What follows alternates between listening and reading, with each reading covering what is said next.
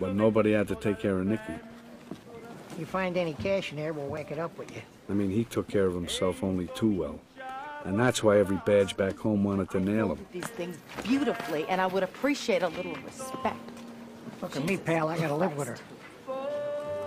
Even after a little vacation, they hassled him at the airport. I mean, Frank Marino was there to meet him, but so were the cops. This time, they wanted to pinch him for some diamond burglary in Antwerp. Help me fold these They were ready to blame him for anything, no matter where it happened. Remember, put your things away. And they were usually right, Hold it, hold it. because Nicky enjoyed being a gangster, and he didn't give a damn who knew it. Come on.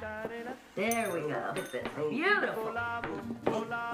I mean, that's what worried me, because it turns out Nicky was about to be sent to Vegas. All right, we're clear. There's more. I think that's it. There's more. There's a couple stuck in there. I know there's more. Come on, Jen. Don't get so defensive. It could be stuck in your hair, you know. There aren't. There, Oh, there aren't? What's that? Huh? What's that? There's no more. Thanks, hon.